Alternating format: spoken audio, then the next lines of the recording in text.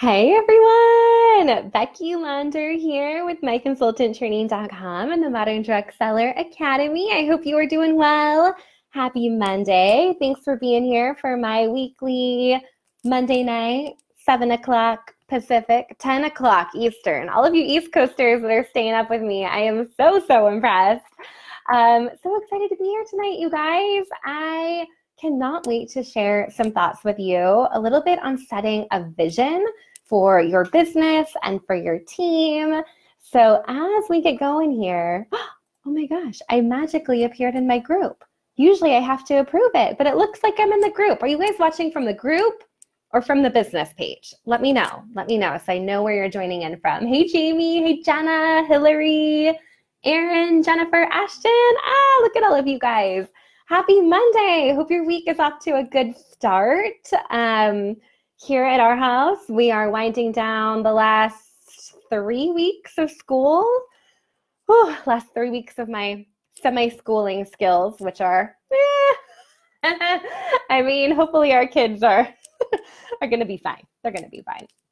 Um, but we're excited to kind of wind down and enjoy summer vacation here in a couple weeks. So we set up a big 10 by six foot swimming pool in our backyard. It's like a blow up pool. So it's not super fancy. If you you probably saw my Instagram stories if you're following me over there. So it is quite the hit. Our kids are having a ton of fun in that. So that's been the most exciting highlight of what's happening over here at our house.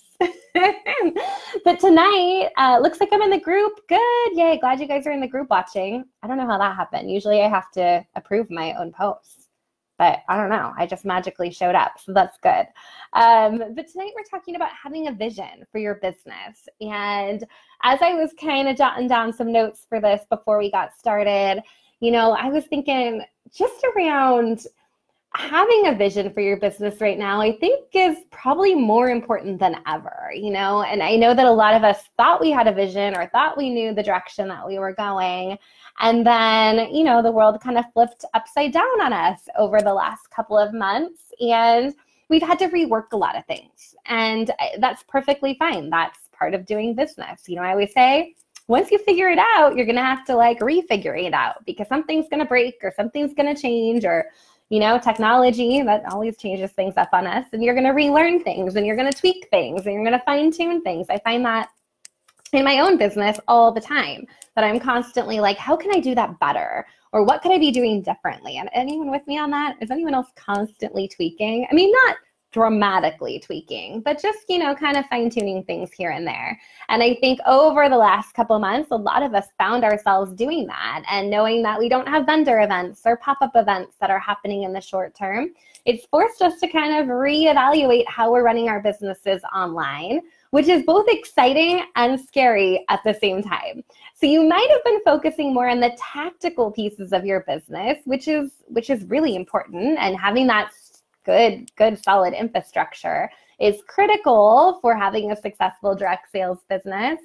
But I also want you to take this time to reflect a little bit and think about that vision that you have for your business. So if you are in direct sales and you're leading a team, I think this is especially important that not only you have a vision for your business and where it's going, but you also have a vision for your team and where you're leading your team. So if you are a team leader, you've probably heard heard this before, but your vision and your goals that you have for your business have to be big enough that they don't they don't just hold your goals like you might have these goals and you know whether it's a sales goal or a personal goal or a business goal but you have to hold that vision for your entire team and not just your team as it exists today where maybe you just have a couple people but your team as it continues to grow maybe you'll have hundreds or thousands of people on that team, right? So thinking about your vision in your business is so so critical. So i want to hear over in the comments hey gail hey christy uh, let me know do you feel like you are clear on your vision for your business? Let me know. Like on a let's do like a scale let's do a scale that's a good one let's do a scale from like one being like, I have no idea on my vision. I haven't really thought about that before. Two, like, yeah, I've kind of thought about my vision a little bit, but I, I don't really have it nailed down. Or three, like, I got my vision and I know where I'm going. So drop me, drop me a comment and let me know where you're at in that process. And I think it is a process and your vision might evolve and change over time. I know in my business, mine has changed a million times, right? Um, but having that vision and getting people to rally around that vision as a direct sales leader or a leader in your own business is so, so important because you got to know where you're going, right? You got to know where you're going. All right, I'm looking for numbers here. We have a lot of twos. We have a lot of twos. Let me know if anyone's like, I know my vision. Like I, I'm a three. Like I know where I'm at. Okay, everyone's a two. Like somewhere in the middle. I think that that's. I think that's totally normal. Oh, Jenna's a two point eight. Oh, I like that, Jenna. I like it. Um, Gail's a one. Yeah, just, and that's fine. That's totally fine. We're all at different stages, different seasons of our business, at different points of getting started. And maybe if you're at a one or a two, you have a goal over the next couple of weeks to really define that vision and get really clear on where you want to go in your business so you can inspire others to do it alongside you or just continue to keep yourself moving in the direction that you want to go in your business.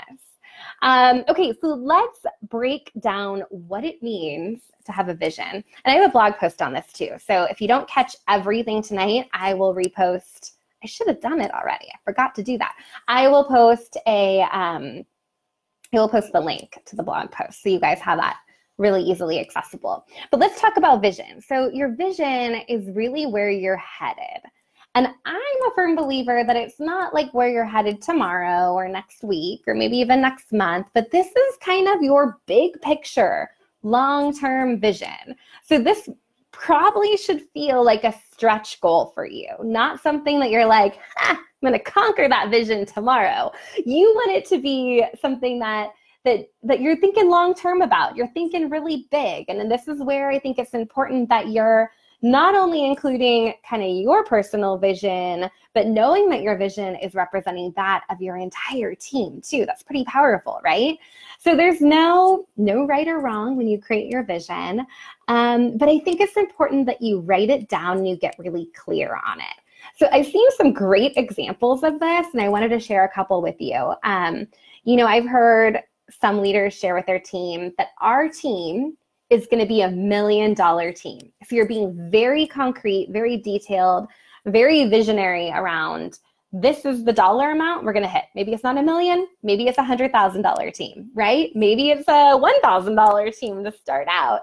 But you want to really clearly articulate where you are going and to get your team to kind of rally around that, right? Or how about this? Our team will change the lives of over a thousand customers this year. It's pretty good, right? And you can, and if you don't have a team, don't keep keep listening because this is still really relevant for you too. Like one of my one of the things that I have on my vision board that I keep in front of me all the time is that my goal is to reach 10,000 direct sellers. That's like my next step in my vision is 10,000 is my number. I want to reach 10,000 direct sellers. That's super concrete. That's something that I can keep in my mind. That's something very measurable and quantitative. So you can kind of keep that in front of you. Hey, Myra. Hey, Lauren. Um, so think think about it in that way. So is it a, a dollar amount that you're working towards, or a number of customers you're serving, or it could even be reach. My goal is to set, uh, or my vision is to have a teammate in every state in the United States. Or my goal and my vision is to grow my team outside of the US and have representation of our team in these different countries, right? So, depending upon how your company is structured. So, think about that as your vision. This should be pretty simple. Like, it should be something that you don't have to sit down and explain to somebody or you need a spreadsheet for or like think of it as something that you put on the banner of your team's Facebook group, right? Super simple. We will be a million dollar team. We will reach a thousand customers this year, right? So think about one of those kinds of, you know, big visions and goals for your business, whether it's your personal business or your team, and keep it front and center. If you're not if you're not ready to publicly put it out there to the world, put it on a post-it note, stick it on your computer and look at it all day long, right? Put it on your refrigerator every time you go get a snack. And quarantine snacks are the real deal here. You know, you, how many times are you going to the refrigerator every day where you're seeing that goal and that vision that you have set for yourself? And if you do have a team, I want to challenge you to share that vision with your team and, and see how they react to it. Because I think that it's exciting for, I think it's exciting for everyone to kind of rally around a goal. So if you have a new teammate that's just starting out, she might never imagine seeing a thousand customers, let alone a million dollar business. But knowing that she's part of that is really, really exciting, right? Oh, okay, Lauren, we got to work on that. We got maybe your vision here in the beginning is is to reach 20 customers this year or five new customers this month. So set those kind of baby step goals as you're getting going in your business. Okay, the second piece of setting a vision is really being clear about the culture that you want to create for your team. So this might be a little bit more specific to team builders rather than if you're just building your personal business. But think about what, what's important to you in your team. What kind of culture do you want to create?